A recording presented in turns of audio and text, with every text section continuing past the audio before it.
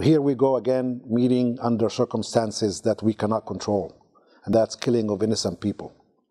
The killing are taking place not because people are bad, but because they belong to certain religion or ethnicity. Today, we're also meeting after three vibrant young people got killed for no reason other than being Muslims. Those people were active in their community. They were people who helped the community, Muslim or non-Muslim, and they wanted all they wanted out of life is to help people and practice religion. With all of us here, day in, day out, I ask all of us, and starting with myself, is to really continue to work hard on educating people about this nonsense killing. Whether it's a Muslim or Christian or a Jew, it does not matter. I ask you and I plead with you to please put all your resources to work to stop these killings, especially the ones because of religion.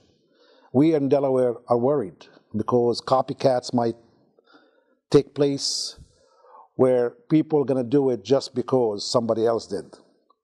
We ask for your help. We ask for your support.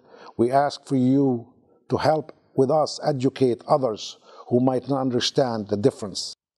It's very sad that the media and the local government in North Carolina is attempting to put this no, no, not much but a parking dispute. If this guy have taken Islam three days before, this will become an act of terrorism. It's very sad that we have to speak about this in this tone, but it's reality. Muslims are being portrayed as terrorists while others are portraying as victims of Muslims. And it's, it's a perception, and perception becomes reality. We, we, we want to make things right. Delaware is a very safe state. People live in harmony all throughout.